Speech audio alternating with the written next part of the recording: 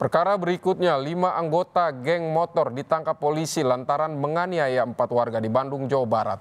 Penganiayaan dipicu emosi karena salah seorang korban sempat melintas di depan para pelaku dengan knalpot bising.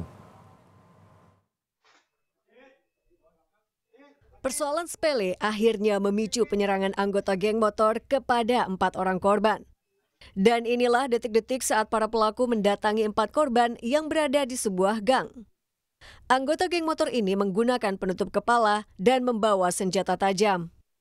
Tanpa basa-basi, mereka lantas menganiaya empat korban hingga mengalami luka berat.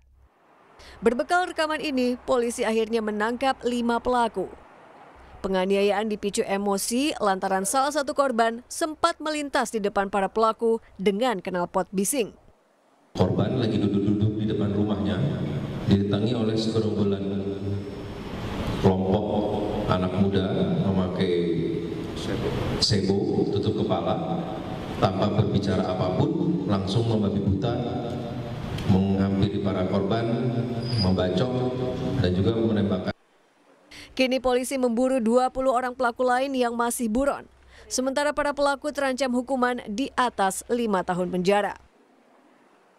Abdul Rohim Kompas TV, Bandung, Jawa Barat.